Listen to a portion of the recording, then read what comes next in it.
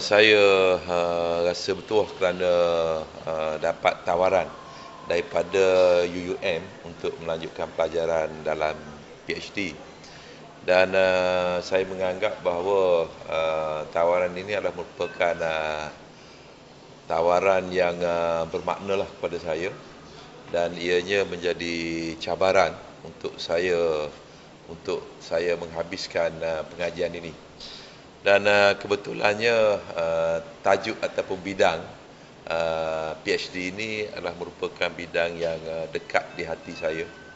Yang mana saya dulu pun ada asas pengajian dalam bidang yang sama di Universiti uh, Pertanian Malaysia.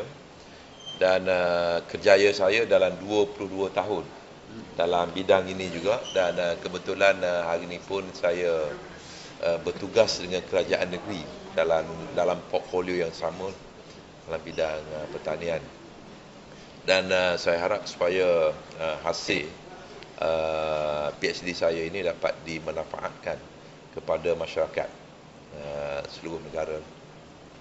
Bidang ini begitu dekat dengan hati saya.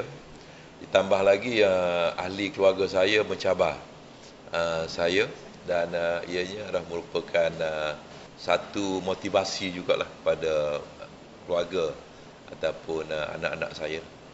Jadi eh, kita harap Datuk akan dapat menyelesaikan uh, PhD beliau dalam masa yang ditetapkan. Dengan ini uh, semoga bidang yang beliau kaji kaji ini dapat memberi sumbangan kepada masyarakat, kepada negara kita dan kepada dunia. Dasar-dasar yang dirangka oleh kerajaan melalui agensi-agensi kerajaan dan apa kesan dia terhadap petani. Kita juga fokus kepada macam mana pandangan, macam mana persepsi para petani ini terhadap keberkesanan dasar tersebut. Ucapkan tahniah kepada Datuk kerana menyahut cabaran untuk membuat uh, pengajian Doktor Falsafah ni ataupun PhD ni. Yang pertama.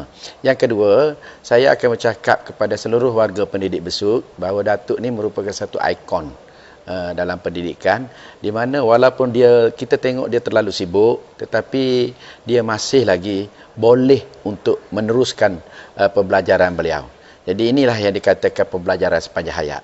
Jadi tahniah sekali lagi kepada Datuk dan insya-Allah kita harap jadikan Datuk ini sebagai contoh kepada seluruh warga pendidikan besuk. Terima kasih.